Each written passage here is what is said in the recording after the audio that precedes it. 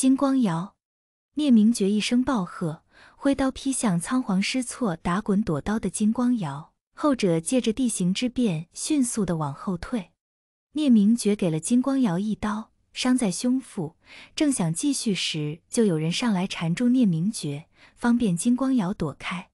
蓝曦臣前来相助，侧面又杀出一人来拦路。因为有人不停阻挠，仍是晚了一步，让金光瑶暂时逃离了。金光瑶同党已经死得七七八八，余下之人见大势已去。纷纷弃剑投降，由金家人接手。江燕离和金陵亦被护送回金夫人的住处。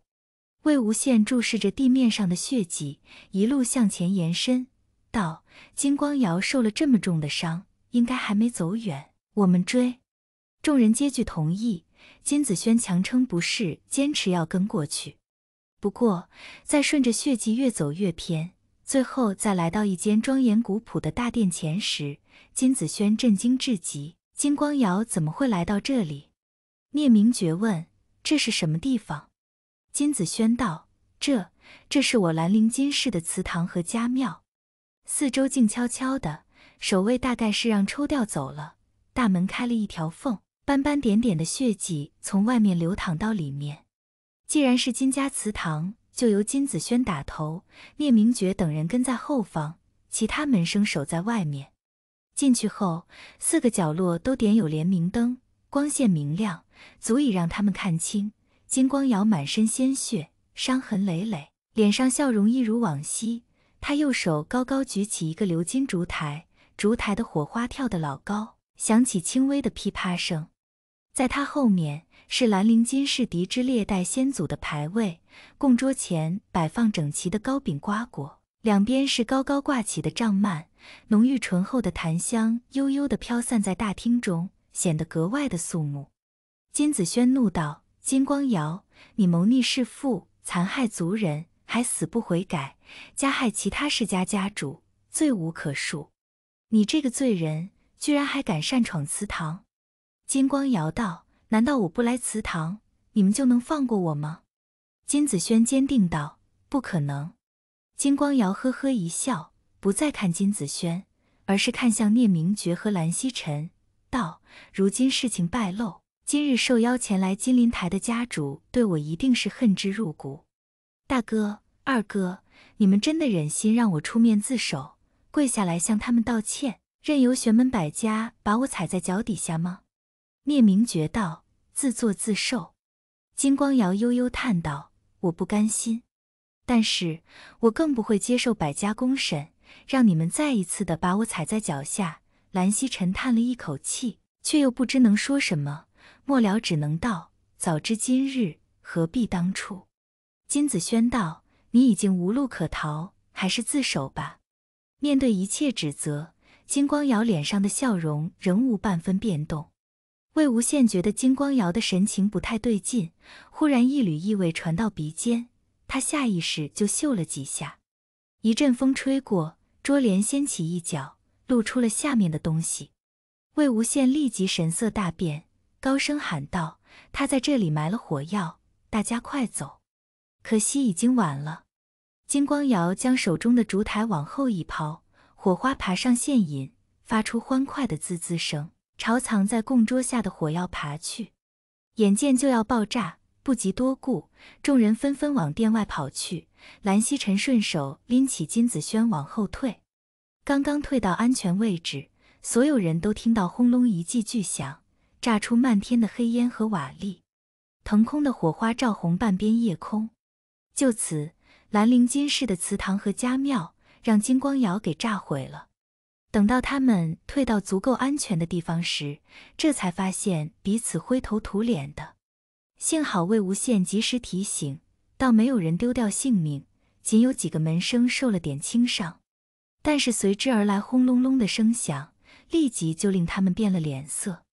清冷的月光下，巨大的石块夹杂泥土碎石，正朝下方的金鳞台俯冲过来。原来金鳞台仙府建在群山之间，而金光瑶埋下的火药，不仅把兰陵金氏的家庙和祠堂给炸成一堆破砖碎瓦，甚至还波及周围山体。掉下了不少石块泥土。巨石滚落速度极快，即使有树木阻拦，却也凭借这一股强大的冲力，压垮了这一片不少的屋子。幸好火药力量有限，山石滚落没多久就停止了。只是事发突然，不少门生躲避不及，有些人被石块砸中，当场送命；有些人让泥土埋住，仅留一只手裸露在外挣扎，哀嚎声和惨叫声交织在一起，可谓伤亡惨重。聂明觉当机立断道：“先救人。”蓝曦臣自然答应，又看向满脸震惊如遭雷劈的金子轩，道：“金公子，这里重伤者不少，需要大夫救治。祠堂被炸，家庙被毁，这一幕对金子轩的刺激实在太大了，脑中一片空白，只有一个意识：祠堂和家庙都没有了，金家以后该怎么办？”谟帝听到蓝曦臣的主语，这才勉强回过神。他压住心中愤懑和焦虑，点点头，吩咐一名高级门生立即去叫大夫，然后又让其他门生赶紧去救人。而蓝忘机早就照出碧尘，劈开泥土，救出没入其下之人。魏无羡见受伤者颇多，如今人手不足，救助中容易顾此失彼，于是略略思索，便想出了一个取巧的方法。他取下乾坤袋，放出数个与真人一般大小的纸人，有男有女，五官描绘的栩栩如生。这些纸人只要运作得当，亦能做些简单的搬动工作，只需用朱砂给他们点上眼睛开灵即可，用来救人完全足够了。魏无羡手执狼毫，给他们分别点上两只眼珠子，咒术都不用施，只是道帮忙救人。纸人们的眼珠子灵活地转了转，仿佛一瞬间就活了过来。他们微微一顿，接着听从指令散开，纵身而起，跑到坍塌横梁下方，开始挖泥搬石，洞在伤员。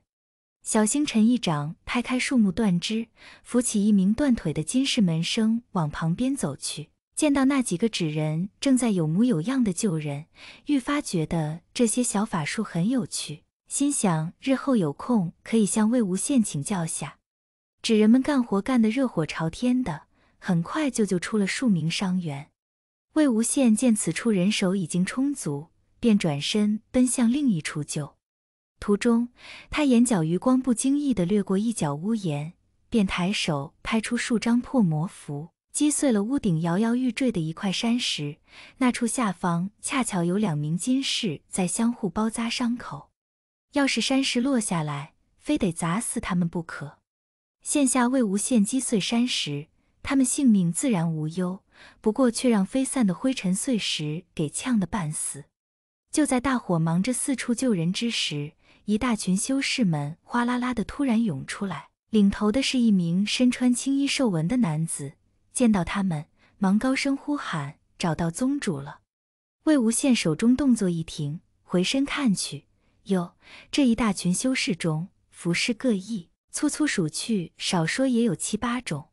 最神奇的是，聂怀桑居然也在其中。聂明觉看他们，不由大惊：“你们怎会在此？”领队者是聂明觉心腹，他回道：“二公子找到属下说，金陵台今晚可能会发生变故，我等担心宗主安危，便召集人手前来金家援助宗主。”聂怀桑小心地探出头来，那个反叛的金氏逆党已经让金夫人控制住了。我们听到这里有爆炸者，担心大哥你们会出意外，这才寻过来的。此刻情势忙乱，没办法问得更细。聂明觉道：既然你们来了，先行救人，再说其他。是，修士们齐声应道，纷纷过去帮忙。众人齐心合力，忙碌一夜。待到第二天上午，情况基本上就控制住了。死者尸体统一搬到一个大院子里，伤者也得到妥善的安顿。